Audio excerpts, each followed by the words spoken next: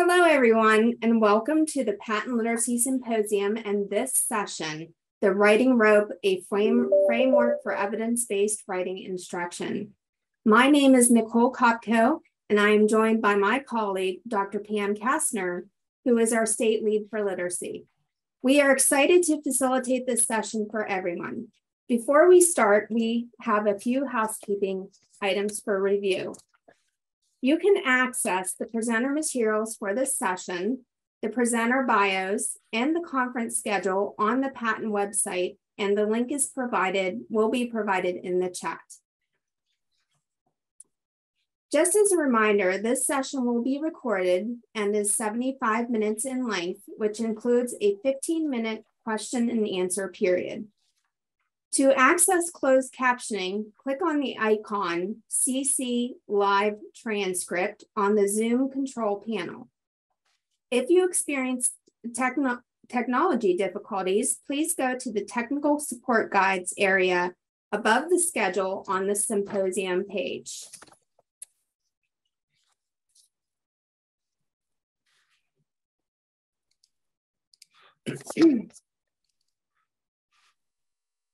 Sorry. Fumbling with my papers.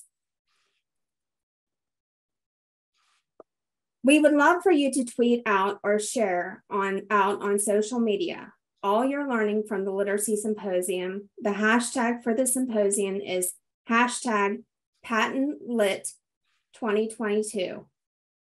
And now we would like to introduce you to Joan Sedita. Joan? Hello, welcome everybody. And thank you so much to PaTTAN for giving me this opportunity to uh, share with you some thoughts and ideas around a topic that uh, is very exciting to me, and that is writing. Uh, I'm going to switch off right now and actually start to share my PowerPoint so you can follow along. And there we go.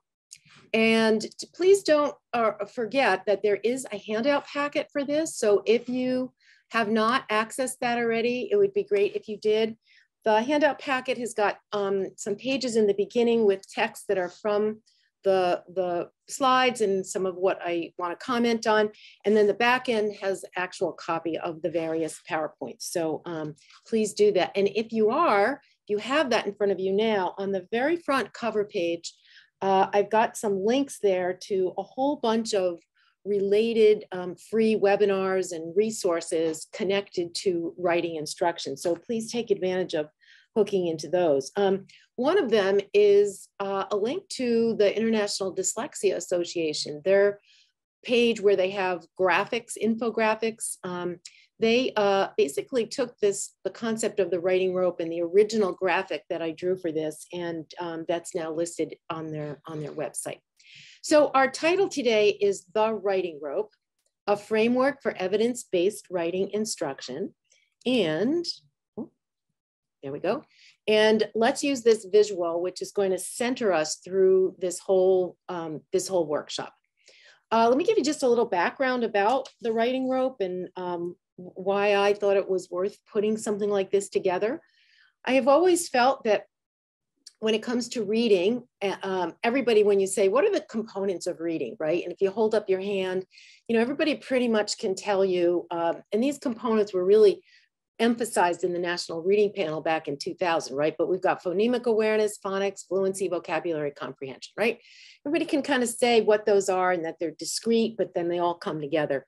Um, and many people think about those components uh, as it relates to Hollis Scarborough's reading rope. Um, I felt that with writing, especially uh, since the, in the last two decades, let's say, since the National Reading Panel came out, I love the focus on reading, right? And the importance of having extended blocks to teach reading. But I think what's happened as a result of that is writing got sort of set to the side. Now, you know, we do have in the Common Core state standards and a lot of other state similar standards, uh, there is a focus on writing, which is great. But I continue to find when I'm out there training teachers that if I say, so what are the basic components? If you were putting together a writing curriculum, or if you were going to bring in a writing program and you wanted to make sure it covered everything, uh, and there just wasn't anything like that. So that's the basis for the writing rope. as you can see, um, it has five major strands. And what we're going to do in this workshop is gradually work our way through those strands. I'm going to try to hit like the mountaintops uh, uh, related to each one of these. So uh, let's begin though by setting the stage with research. What do we know about effective writing instruction? And in this case, for grades four to 12. There are several meta-analyses research reports that have come out in the last uh, 15 years or so. They are on the top of your page two in your handout packet if you want to actually go and Google and pull these, pull these reports up. Um, basically, writing to read, then came writing next, then two IES reports teaching secondary students and teaching elementary students. Um, let's just hit the mountaintops because I want folks to keep in mind that uh, we want to make sure whatever instructional practices we use for the teaching of writing, that they are based in research. Now, we're always learning something new, but I think we want to make sure we keep these things in mind. So let's unpack the IES report for the elementary grades and what were their final conclusions. One, we must provide daily time for students to write. If we want them to get fluent, we got to give them time and they got to practice. The second, teach students to use a, the writing process for a variety of purposes. And the writing process, the stages in that, you're going to find them in the first part of the writing rope. Um, teach students to become fluent with handwriting, spelling, sentence construction, typing, word processing. Aside from sentence, everything else in this bullet is really falls under what I call, and many people call transcription skills. So we're going to hit those. That, that has its own uh, strand in the rope as well. And then finally, creating an engaged community of writers. And, and what does that mean, especially for young children? If you think about it, writing is a way that we communicate and we need to connect to others. And there's a lot of research that supports the, uh, the use of collaborative, shared uh, situations and activities where students at every stage of the writing process, beginning with you know their pre-planning and their thinking about what they're going to write, then draft writing, and then certainly on the revision stage. So there's a really powerful role that collaborative work can play.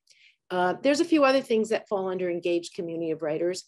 For really young ones, this is where the teacher becomes a writer in front of the students. It's where the teacher does shared writing tasks. So teacher might have on a, on a blackboard or whiteboard or a chart paper, uh, working through the stages in a very explicit way and having students contribute to that. So those are the overall findings from the elementary IES report.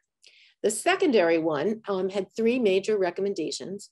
The first, to explicitly teach the appropriate writing strategies using a model practice re reflect, which to me means IWU, um, cycle in order to teach writing strategies.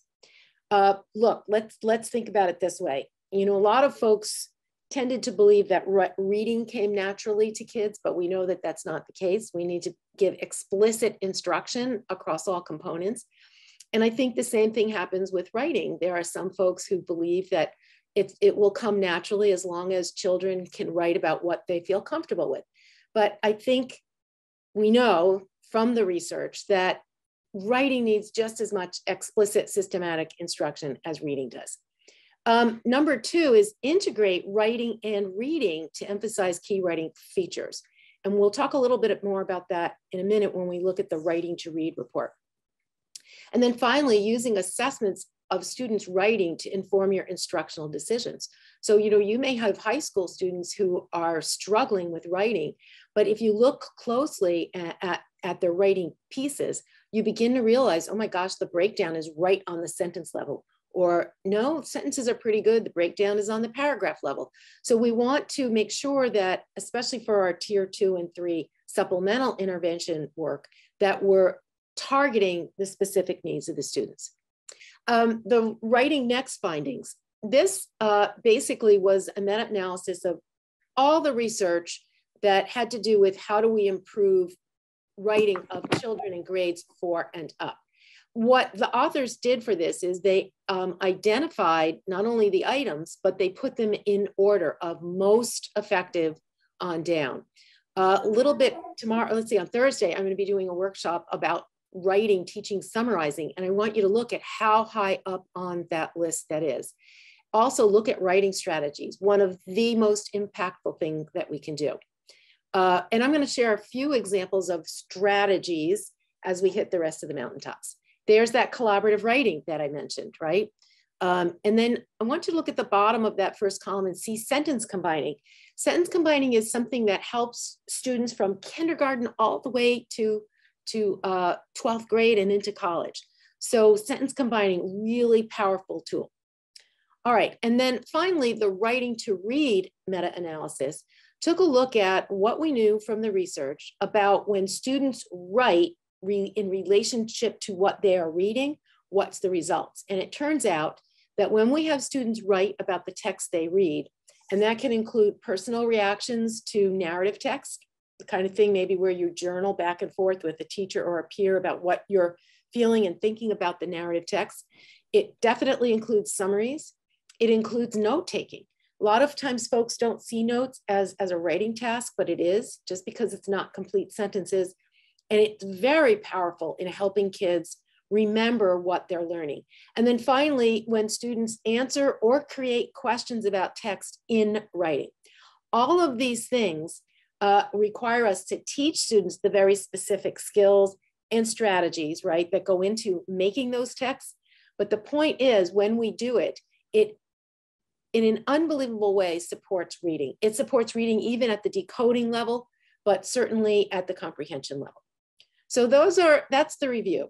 Um, I'm going to share this slide. Most folk, most of you folks have heard some version of this. Uh, I love that over the last decade or so, it's, it's turned into the IWU. But all of the skills and strategies and techniques that I'm going to mention in the, in the writing rope overview, every one of them, students benefit from explicit instruction in those skills, strategies, or techniques that follows the IWU path, where upfront we model uh, we use model sample models of text to model what a particular writing strategy should look like. Uh, teacher models it in front of students, direct, explicit, using thinking aloud. Then we are gonna move into the guided practice, and that could be small group, whole group, but certainly collaborative until students independently are able to um, apply a particular writing skill or strategy. Now, if we're gonna talk about writing, um, we also need to address the issue of executive function and how any weaknesses in executive function skills can really make writing difficult. I mean, it can make all schoolwork difficult, but I think it is especially important when it comes to writing. So what you're looking at here is a, a, visual, a graphic that Berninger and Winn developed in 2006. Um, Virginia Berninger actually developed this a few years earlier, the beginnings of this, and at that point, she called it the simple view of writing. But beginning around 2006, and my guess is with an eye towards how complex really writing can be, uh, she began calling it the not so simple view of writing. Regardless of how you describe it, uh, the term you use, let's just unpack it a little. So if you look at this top box, text generation, that's a lot of what's in the writing rope that we're going to talk about. So all those skills and strategies that students need to have at the word level, the sentence level, broader text, writing, composing, that's this box, okay? Down on the left, you see transcription. We'll talk more about that in a minute, but that basically is your spelling or handwriting and keyboarding. And that the, these two parts of this visual are what generally we think about when we teach about teaching writing. But Berninger reminded us that executive functions, especially working memory, play an important role in this. Um, and you know that includes things like uh, attention, goal setting, planning, right, uh, revising, um, self-regulating, things like that. Now, um, let's also take a look at this quote. This is from uh, uh, uh Steve Graham and Karen Harris, uh, those that pair, their husband and wife, they have done so much research. Um, you're going to see, in particular, Steve Graham's name on so many of the um, of the groups of, of research uh, consultants and specialists around writing in those reports. But uh, a lot of their work in the last two decades since Berninger was doing, doing that, that model, um, has been around the really important role that self-regulation plays in this. So I love this quote because it really summarizes how difficult writing can be. Um, I'll read it quickly, you can follow along. While negotiating the rules and mechanics for writing, the writer must maintain focus on factors such as organization, form and features, purposes and goals, audience needs and perspectives, and evaluation of the communication between author and reader. I mean, just thinking about all those things that we have to do when we when we write it, it's amazing to me that that anybody ever writes anything, right? Um, and self-regulation of the writing process is critical. The writer must be goal-oriented, resourceful, and reflective. For skilled authors, writing is a flexible, goal-oriented activity, scaffolded by a rich source of cognitive processes and strategies, text production, and revision. So as we begin to move forward and unpack some of those skills and strategies that fall under text generation as well as transcription, always keep in mind that role that executive function plays. And many of the, the um, scaffolds that can be brought in to support writing, uh, such as pre-planning graphic organizers, right, or two column format for taking notes. Those are notes. Those are the kinds of scaffolds um, that help those students who have difficulties with executive function. Um, what I'd like to do on this slide is just briefly summarize what we know can happen uh, with students who are having difficulty. And I'd like you, while I go through these, I want you to be thinking about what other issues do you see coming up in the writing of your students who have difficulty. Um, first off, one of the things that you'll almost always find is if they're having difficulty with reading, sorry, with writing, they will almost always have problems with critical reading skills.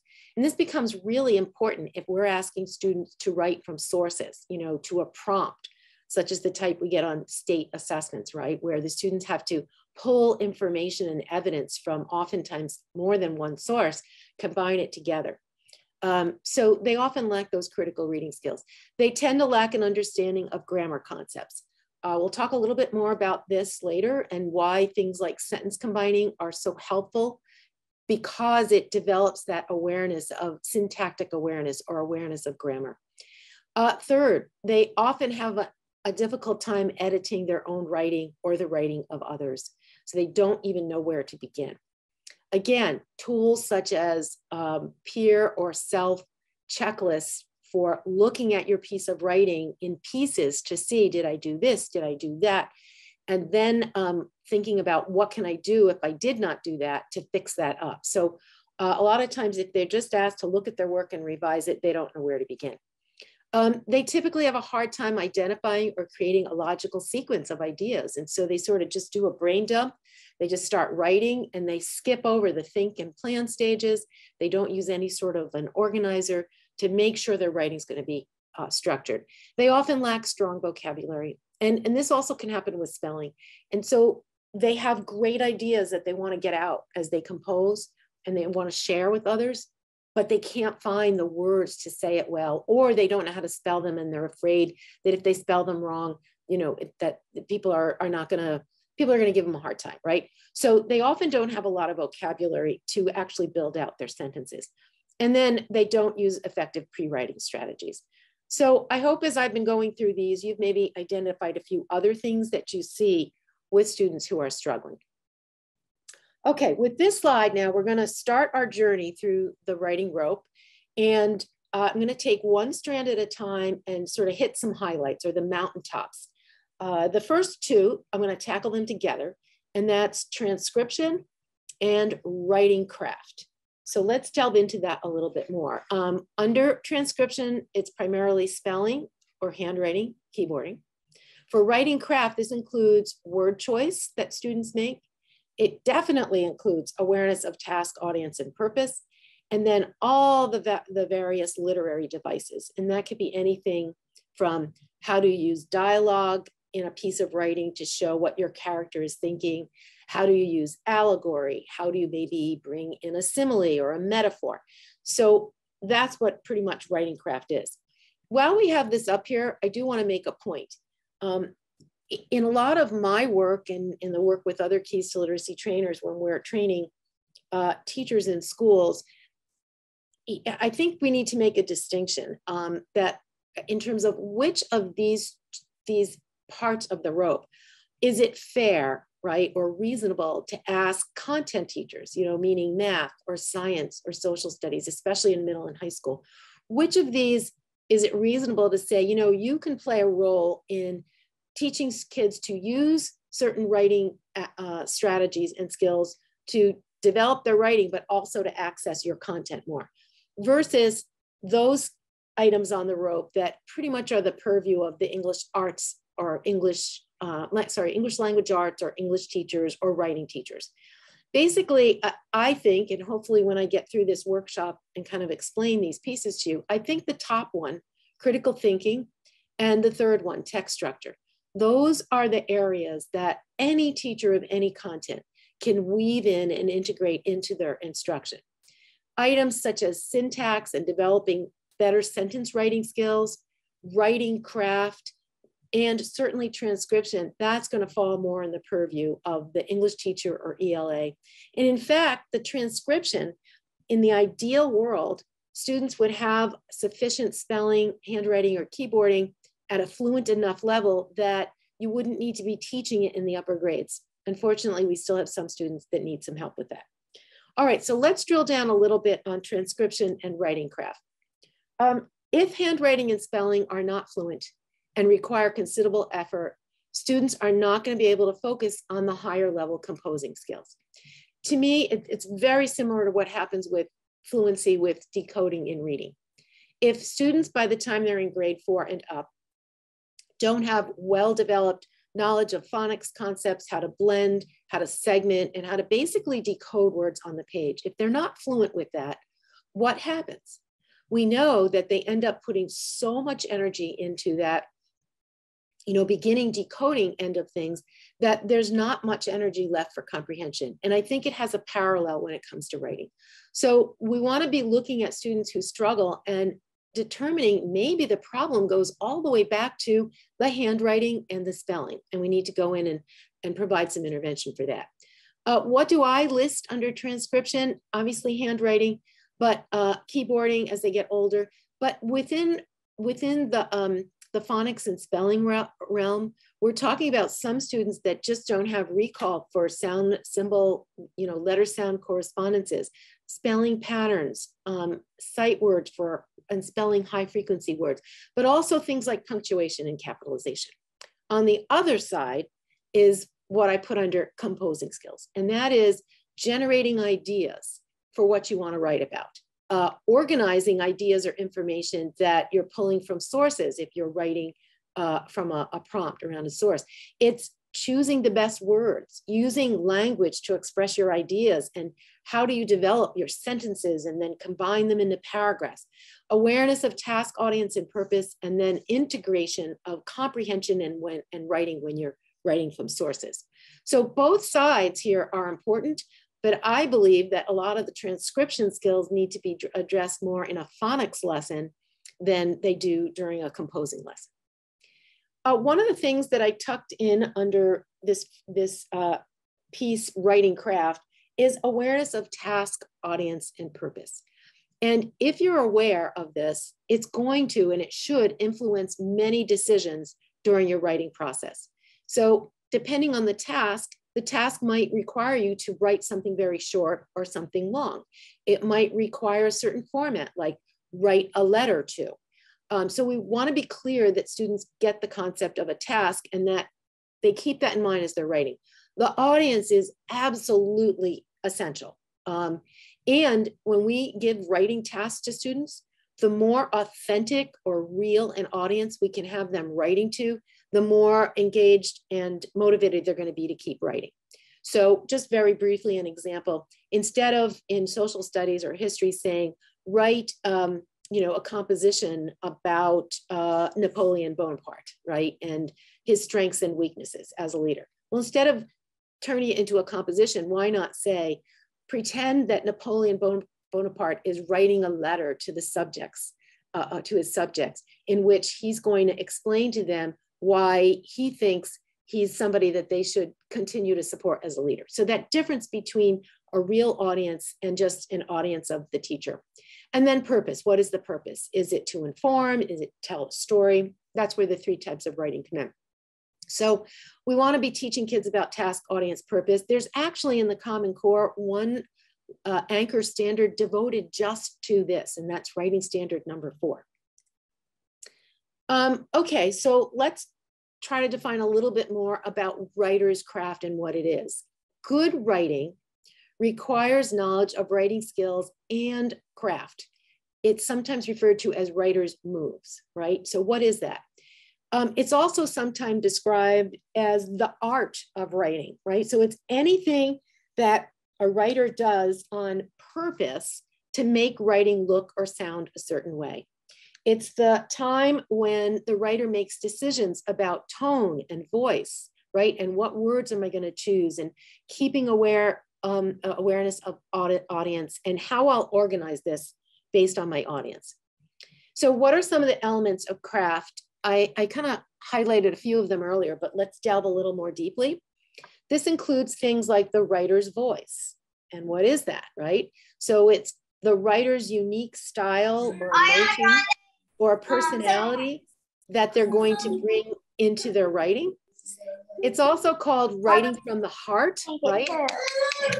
It's how authors use voice to make the reader feel some emotion. Um, if you've ever read a scary story, uh, that's an example where the, the author builds certain things into the writing to make you feel afraid while you're reading the scary story, right? And it's really achieved through choice of language, um, setting, and use of dialogue. So another thing that comes under, under writing craft is narrative point of view. So I'm sure you've often heard of writing in the first person or the second person or the third. Word choice is, is so important here. It's the purposeful use of certain vocabulary and where you place your words, the use of descriptive language. Um, and this is why if students are, are not fluent and don't have a lot of vocabulary to draw from, it's gonna be real hard for them to make these kinds of choices. And then fi finally, teaching students specifically certain literacy devices um, like allegory or flashback or using figurative language. So that's probably the fastest tour you're ever going to get of what writing craft is. Um, I could do a whole day on that. Um, but you can see why, uh, why I'm saying that that sort of falls in the purview of the writing teacher or the English teacher, because it's very specific and unique. Now, one other point I want to make before we move to the next part of the rope is about the value of what's called mentor models or mentor, mentor text. What this is, is models of good writing, right? So that students can imitate or emulate. We know that all of us learn to write by seeing how others do it. I'll give you a very simple life example. Um, not too long ago, I was in a, a, a, car accident and I had to, at the police station, write out a, an accident report, right? And I had never done one before. So what do you think I did? What would you have done? I, I said, can I see a few as an examples? Can I see some examples? And once I saw how other people wrote them, I was able to figure out how to write my own. So models of writing are really important. And we don't do it by just saying, oh, here's a great short story, read it and, and figure out what they did, right? Or here's a great article in Time for Kids so now I want you to write a really great article. You have to get very specific about a writing skill, strategy, or technique that you're using the models for. So you might pick out something that uh, has is a great example of how transition words are used. And so you use that mentor model, maybe even a second and a third to say, all right, students, let's look at how did they use these transitions? Let's circle them. Now that you see how it's been done by, by published writers, how would you mimic that and do that in your own writing? Or perhaps it's showing students how to state a claim for an argument piece and how you do that right up front in the beginning of your argument, right? But looking at how others do that. So showing mentor models is a very helpful um, approach. And I have put that all under the, um, the writing craft stand of the rope. All right, now let's move to text structure. And there are quite a few things that are tucked in under here. Uh, we're talking about on the broad level, you can see it in that first bullet there, the broad structures for the three types of writing, narrative, informational, and opinion or argument. But it also, um, under here, I've put paragraph structure because there are so many students who still don't get what a paragraph is. And then also in here is what's often referred to as patterns of organization. So when you use a description, that's going to look differently than a sequence or than a cause and effect or a compare and a contrast. And then the last piece under here are linking words or transition words and phrases. Those are what we use to help the flow and the organization of our larger structures, but we also use them to signal to the people reading our work which pattern of organization are we using. So that's text structure. Let's do a few things under this part of the rope. We're going to begin with the three types of writing. Uh, these are sometimes referred to as genres, and there are certainly multiple subgenres within these. Um, and this is actually an example of a, of a graphic organizer that you can use in your classroom. We've seen it very, very helpful. So basically there's opinion argument and what is its purpose? To convince. There's informational, its purpose is to inform or explain. And then there's narrative, right? And its overarching purpose is to share a story. Um, oftentimes students get these things confused. And so one of the first things we wanna do when we give a writing assignment is to make it clear which of these will be the focus. And also sometimes a writing piece could be a combination.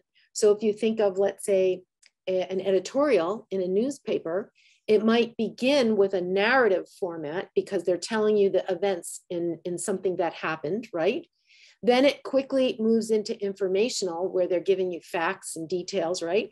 But it might end because it's an editorial with an opinion related to something about the article. So we want students to, to be aware of the three types um, and also start to share examples in mentor text with them of what a good informational piece looks like versus an opinion piece.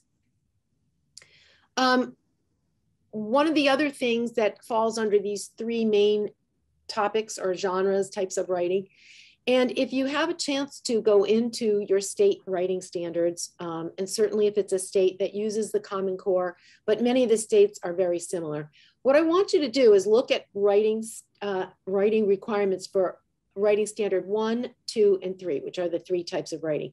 And when you dig down into the substandards, you're going to see that every one of the three types of writing has requirements from beginning in grade one all the way to high school for introductions, for conclusions, and for how you develop your body.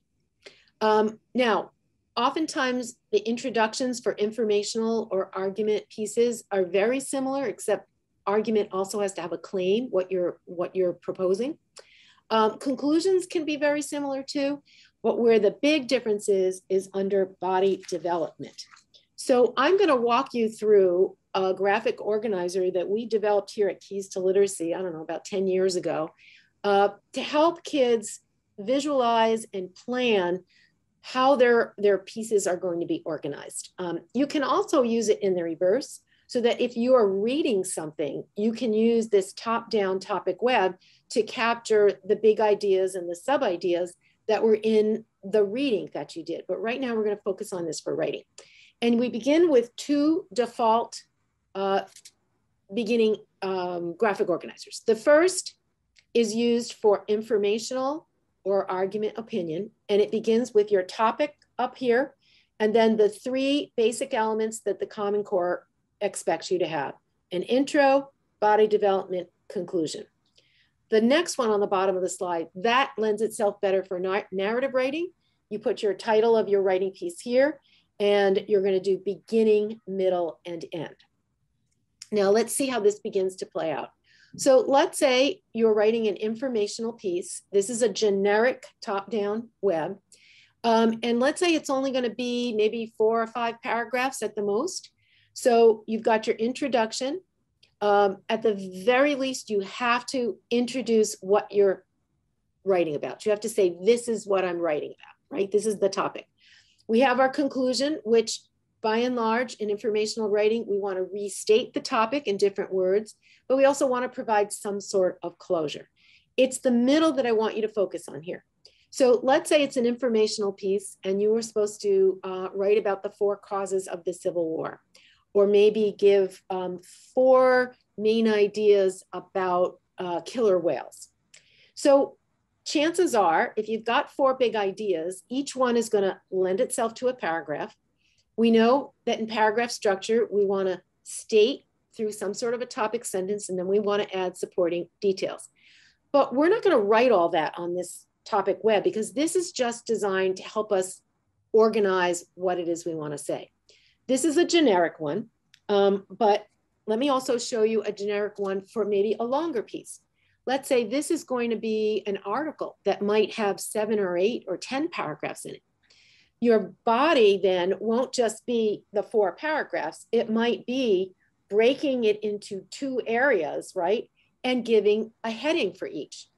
How many of our students don't know how to use headings? And yet it's an integral part of uh, showing the reader the structure. So this might be how it would look like if you were doing a longer piece.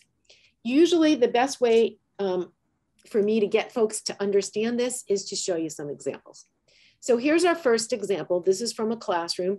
You can see the teacher gave the blank up top, started intro body conclusion, but then the student built the rest of it out. So this was a writing piece about how rocks are formed. You can see the students noted that makes needs to make sure this turns up in the opening introduction. Conclusion, decided to provide some closure by saying they're, they're formed in many ways. And then look at how the body is organized. So this student obviously has got three major sections. These could be turned into headings and then um, information about each follows. This is one from a high school history class. The students were asked to uh, write an informational piece about the Axis powers, say a little bit about each one, and you can see how the students using the top-down web to plan that. All right, so now let's shift um, and talk about what these top-down webs can look like when it comes to opinion or argument writing. Opinion writing is what younger children do. It doesn't start till about after fifth grade that many state standards expect students to shift to argument writing where they have to include a counterclaim and a rebuttal. So let's just focus on this one um, as the basic for an opinion writing in, let's say, the elementary grades it's a generic, right? So what do we know about introductions for opinions? Have to state your topic, but you also have to state your opinion or your claim. In our conclusion, we want to provide closure, but we also want to restate our claim. The body, though, gets developed differently than an, an informational piece because the structure of information, I'm sorry, of opinion writing is stating your claim, then providing reasons that support your claim, and then for each reason, providing detailed evidence that supports the reason. So if you're going to set up your opinion topic web, basically, if you're going to list the number of reasons. In this case, it's three reasons to support a claim. So let's see a student's example. This is from grade four.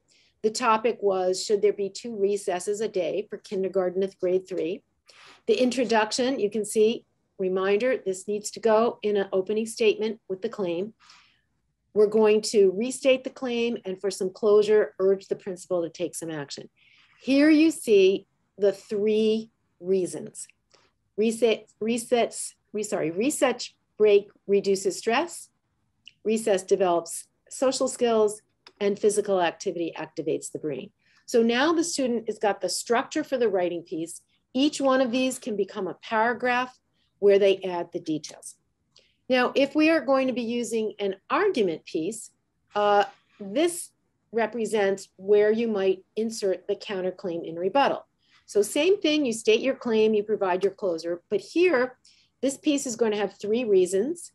The author is going to give those three reasons with evidence, then introduce the counterclaim, and then the rebuttal. Now, there's no rule in argument writing about the order of these. So the writer could just as easily give one reason, then give the counterclaim and rebuttal, and then end by giving two more reasons. So let's see an example of this from a, a writing task from a classroom where we've done some work. Title, continued funding for the NASA budget, NASA budget. Introduction, they're giving some background information and then stating the claim, in this case, Yes, continue with funding. Funding. We've got our conclusion. We're going to summarize our reasons, but look how the body is built out. So the actual reasons are stated um, for the two reasons. And when the students begin writing this, they're going to actually put in the evidence sentences. And then the counterclaim is there with a reminder to provide the rebuttal. So let's uh, spend a few minutes now just looking at how this can play out in narrative text. I mentioned before it's beginning, middle, end. If we look to Common Core standards for narrative writing, uh, one of the anchor statements says that an introduction or a beginning to a narrative piece should establish a, sorry, establish a situation and introduce a narrator or a character. We want some sort of closure at the end of our story but how is this body going to be built out? It's going to be built out by a series of events. This is very short. This is a short story, only four events. If you wanted to write an entire novel, I think you can begin to see how this strand could be listed under chapter one, then chapter two, chapter three, and so on and so forth.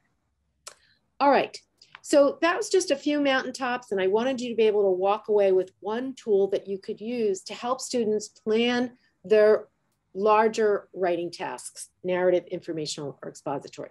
What we're going to do now is bring it down a little bit here and focus on paragraphs. There are many, many students that enter middle and high school that have really no clue about what a paragraph is. When they write, they just write in a continuous stream, or they'll indent every once in a while because they're supposed to, but they don't, they don't know why. So the first thing we have to do is make sure that students know what a paragraph is.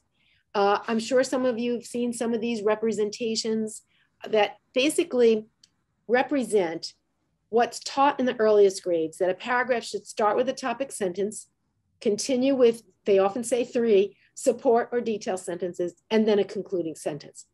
However, the fact of the matter is, in much of what we read, we don't find a concluding sentence at the end of every paragraph. And if we're writing a multi-paragraph um, piece, we're not going to put a concluding sentence at the end of every single paragraph. Our whole piece will have an introductory statement, We'll end with a concluding statement, but our paragraphs don't necessarily have to have that. So what are some activities you can do to help students develop better writing, paragraph writing skills? One of the common problems around paragraphs is that students don't have good underlying main idea skills because ultimately that's what a paragraph is about, right? You can have a multi-paragraph piece about pirates, but each paragraph is going to be something different about pirates. One might be about, you know, where do they hang out in the Caribbean, right? Another one might be a certain type of pirate, buccaneers. So our topic remains the same, but it's time to shift from one paragraph to another, right, including that indent, when we're changing the main idea about the topic. So here are a few activities that can develop paragraph writing skills. Teaching kids by having them color code parts of their paragraph, having them identify the topic sentence in mentor text paragraphs. Another task is to insert a sentence that doesn't belong and have them figure it out. That doesn't belong because it's not supporting the main idea. And then finally, giving students a bunch of supporting sentences and having them generate their own topic sentence.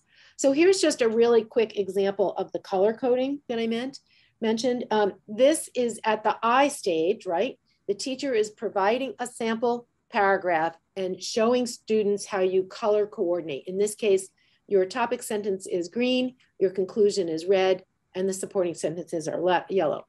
And then here you see, this is a student's paragraph where the teacher has asked them to use highlighters to identify which sentences are which. So again, we've got a lot to cover, so I can't get too much more deeply into paragraph structure skills, but I wanted to um, at least give you a few suggestions. All right, let's also now unpack what I meant mean about organization, patterns of organization, and the transitions that are associated with them. So this visual basically um, identifies the, the five major patterns of organization. Under each one, we've got its purpose, right? To help kids kind of remember about, about each of those. Um, but we also, let's jump to this slide about transitions. one of the things you can add to your chart in another bubble underneath is to pick two or three really commonly used transitions that are used for that particular pattern of, organ of organization. And I'll share a little bit more about that in a minute. So let's, let's identify what we mean by transitions. They are words or phrases. They can even be whole sentences. They're used to link sentence to sentence or paragraph to paragraph or even section to section in a text. We use them to clarify relationships, to create cohesion, and to link ideas. They are worth their weight in gold, these little words, right? And many students do not have them as part of their lexicon, especially our English language learners. These do not come in uh, easy to them. What you'll find is students that have good language skills, when they're writing their first drafts, they actually include the transitions at that point. But a lot of our students who it does not come naturally to, they're going to have to add transitions when they go to revise their writing. So I've given you in your handout packet, you can see it on page three. This is a list of common transition words and phrases. I will tell you that I've been distributing this to students and teachers since the late 70s. Um, what what people tell me they love about it is in the left column, we've identified the purpose for certain transitions and then given those transitions on the right. Um, I highly recommend that you make copies of this. Make a copy and put it in plastic sheet protectors that students keep in their notebooks. Create anchor charts on your classroom wall with these transition words. Um, I've also got on this here a visual of a poster that, that we, we sell at Keys to Literacy. I'm not saying buy the poster, you can easily make your own. The idea is that students have something to go to so that when they're writing and they're trying to find a good connecting word, they've got a source. If you teach students in grades three and four, this one might be a little bit overwhelming. At uh, the Keys to Literacy website in the free resources, we have a version of this for lower grades. All right, so let's move on to the syntax part of the rope. This is one of my favorites. Um, what is it? Syntactic awareness um, means you have a, sense of the way uh, formal gra grammar works, right? Um, now, we develop that sense from the moment we start talking and listening as, as young ones, right? And this is why the more that students, before they come into kindergarten, the more they're exposed to written text through read aloud, this is really helps develop that sense of the rules that govern how words can be positioned within a sentence, right? Um, so under this strand, I include any activities that can be done to develop that syntactic awareness. But I also included under here sentence elaboration because one of the things that happens after fourth grade with struggling writers is when you look at their sentences, they're very short and they're very simple, and they often start with the same word. Um, and what we want to do is break that habit. We want to teach them how to expand so that they have compound subjects and compound predicates, and they create complex sentences. So a lot of the activities um, that, that I'm going to share with you in a minute are designed to both support sentence elaboration, but also build a stronger base of syntactic awareness. Um, Legos, this is a, a, a, or building blocks, this is a metaphor that uh, we love to use here at Keys to Literacy. So I want you to think about, and when I'm live, I can actually bring Lego blocks, right? So I want you to think about every one of those tiny blocks is represents a word. So how do we build a sentence? Maybe our sentence is gonna be five words. So we stack them together. Now the order is really important. So for example, if I say the flat, I have a flat brown desk, I put my adjectives in front of my noun, flat brown. But in Romance languages, we put the adjective after. So it would be desk flat brown. So the order that we put our words, that's driven by our syntactic knowledge. All right, so now we have a set of cubes, they're struck together and they're, they're a sentence. How do we build a paragraph? Well, we take several of those and we put them all together. We might, you know, those Lego blocks that are longer, that have a lot of dots, we could put that at the top of all of our sentences and that represents our top our topic sentence right what the intro to what this is about So now we have a paragraph, you can visualize it hopefully. How do we create a multi-paragraph piece? Well, we take two or three paragraphs and we stick them together, right? And that builds our multi-paragraph piece. And so on and so forth. You can just keep building out using the words as the Lego blocks and grouping them into reasonable sentences and paragraphs. So a little bit more about sentence, a syntax, which really a simpler term is sentence structure. One by one, and we do this when we speak as well as when we write, right? Sentences communicate the ideas that add up to make meaning. Um, there's often meaning within one sentence as it is, but it's when we combine several together that we're able to get across a, a broader uh, concept that we want folks to see in our reading, on our writing. So what we want to do is encourage students to think about what makes a sentence strong, right? And there are several things that we can do for this. Let me just jump to this slide um, that help develop syntactic awareness. Sentence anagrams or scrambles, sentence elaboration, sentence combining. I mentioned that to you before, how powerful that is. It keeps coming up in the research as being highly effective. Um, and also on a really basic level, teaching students and have them practice the difference between fragments and complete sentences. Now, um, I could spend three whole hours, actually a whole day on just this piece. We do not have the time in a short workshop.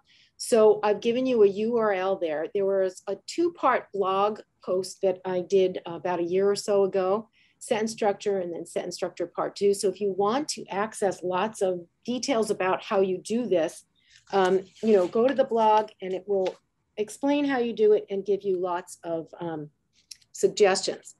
But uh, let's jump back to this previous slide. Um, this is this is a quote from Bruce Saddler, who I he has a book that that focuses on sentence combining and all sorts of activities for developing sentence sense that um, that I highly recommend.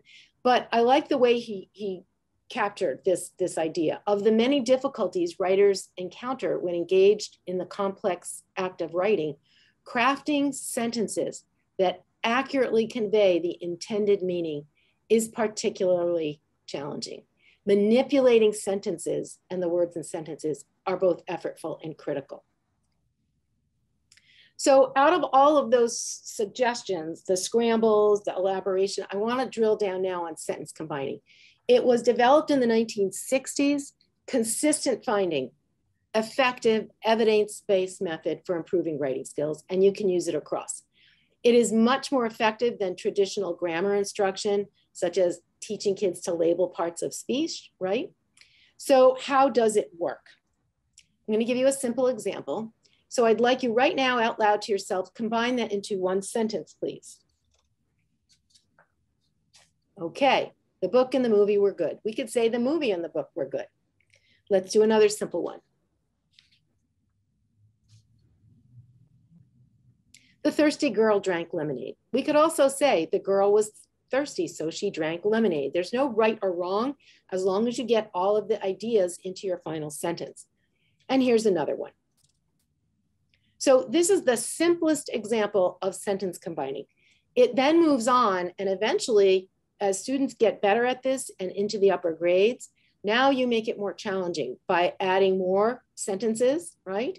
Uh, we don't have time to have you do this right now, but just begin to imagine what would you have to do to take this string of sentences and end up putting it into a sentence that makes sense, right? So that's a little bit about sentence combining.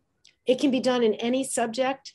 Um, I think sentence combining, if every, let's say I'm a, middle school student, I have five major teachers. If every teacher once a week on the board as we're walking into the classroom had a quick sentence combining activity, especially if it was related to something that we were teaching. And the students spent two or three minutes doing that. By the end of the week, you know, I would have done this, uh, I would have been able to do a sentence combining activity five to 10 times. And that's what builds um, sustainability. All right, so now let's let's move to the critical thinking, which is the last one. And there are a couple things that I've tucked in under here. One of them is the stages of the writing process.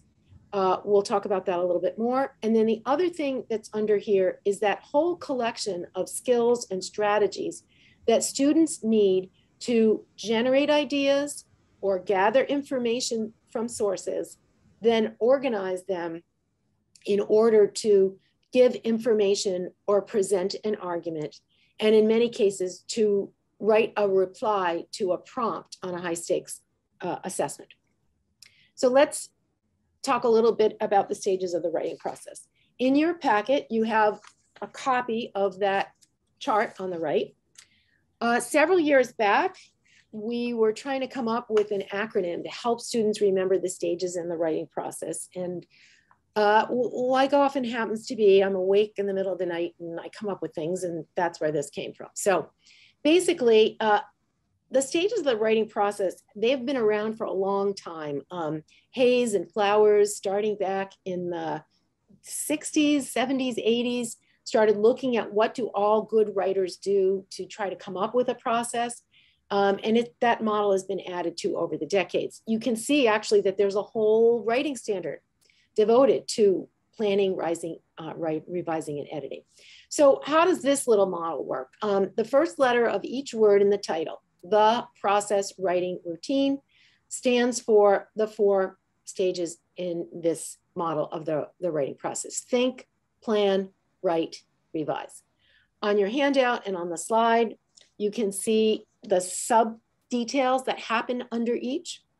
And also, let me jump over that for a minute. I also want you to look in your handout at page five, because we've also provided for you a set of guiding questions that students might use as they're going through each of these stages. You know, what should they consider when they're at the think stage? How about at the plan stage? Now, let me give you a little caveat about this list of questions. This list is long, so you wouldn't necessarily give students the whole thing. You might just pick out one or two questions from each stage uh, as you introduce the stages of the writing process. But then once they get more under their belt, you can add some more. Um, I also wanted to spend a moment talking about the recursive nature of the writing process. It is dynamic and we are constantly cycling through these things. Really good writers, when they get to the right stage, might discover that they didn't think enough and they need to go back and gather information. Or they might, when they're at the revision stage, realize that, you know, their writing piece isn't very organized, so they have to go back up to the planning stage. We want kids to know that we often repeat and revisit the stages. All right, let's end. I'll probably go about five or six minutes into our question and answer piece with this, but let's end with the writing to learn part of this strand in the rope. I shared this earlier from the Writing to Read report uh, that when we have students write about what they read in any of those formats that you see on the screen, it really improves their comprehension, but it also grows their writing skills writing about what we're reading is thinking, right? Even if we do a really quick rate, a five minute brain dump about something, when we are doing that writing, it helps us organize and clarify and solidify our understanding of what it is in the text that we've just learned about, right? It builds relationship and it gets us more engaged. Writing to learn skills, what falls under this? And I often like to, to explain that writing to learn actually is almost a combination of comprehension skills and strategies melded with writing. They both work hand in hand. So it includes when you've got sources, annotating them. How do you annotate the text to find the exact information or evidence that you need to pull out to put in your piece? It certainly involves gathering that and how do you save them into notes? So teaching students something like two column notes, which I'm a, a real fan of, that's an example of a comprehension and writing strategy that helps kids get what they need to put in. Then any kind of planning tools, uh, graphic organizers that help you map out what your writing piece is going to look at like. You also then have to have a set of skills under your belt to be able to take a note, which is often just a word or a phrase, and how do you develop that into an elaborated sentence and then how do you grab several sentences and put them together into a paragraph? It also means knowing about text structure. How can you use text features like headings and bold print, right? And then finally, revising and editing skills. So there's a lot that falls under this strand of the rope. Um, this is a chart I, I like to share with content teachers when we're, we're doing this training about writing in the content areas. So I want you to think about the kinds of tasks that might be given in any subject area. They can fall out into these three main categories. They can be general academic tasks. So we can teach students how to write summaries that they could use with any subject area. Uh, on Thursday, I'm going to do another workshop for PaTTAN on how do you teach summary writing. Essays, short answer test questions. How do you write a description, right? Those are general academic. We can teach these to students, maybe even in the English or ELA class. Then they can go to other classes and use those skills to, to write essays or summaries or descriptions in their content areas. Way over on the right, these are subject specific or disciplinary specific writing tasks. So in science, it might be how do you write a lab report? Or social studies, uh, tasks that involve writing about historical events. Um, ELA, a literary analysis. So those are subject specific. The ones down the middle, I've got these here to remind you about something we said earlier, the value and the importance of authentic audiences, real world tasks. So this is where whether you're doing subject specific or general academic, you assign a certain form that's aligned to real world writing. So a letter or maybe an editorial, or maybe you're gonna create an infographic. Now, the authentic audiences, sometimes they're real and you can actually send them to them. You can send a book review into you know the, the school newsletter right or you can uh, write an article for the local paper or write a letter letter to the mayor of your town. They might not all get read, but sometimes they are. And when students get feedback from the people they've written to, it's very powerful. All right, so uh, let's wrap this up with a few final slides about writing from sources. Uh, we want students to be um, deciding, do I use informational or do I use opinion to answer this, right? And there are several kinds of writing from sources tasks. It could be research papers, journal responses, um, lots of things that we write from task. I mentioned this earlier, this is just a visual, that quality written responses when you're writing from sources require skills from both comprehension and writing. I'm gonna skip over the summary writing, um, except just a couple highlights here. This you've got in your handout packet. These are the steps you want students to follow when they are writing a summary. And then um, just a few pointers about writing from a prompt. So if we've got a prompt in front of us, in this case, the students were supposed to read uh, an article about uh, the garbage on this amazing uh, island in the Pacific, right? Uh, and the prompt is telling them to write specifically about the effect or the impact on Henderson Island of garbage and plastic, how microplastics play a role, and then what are some solutions.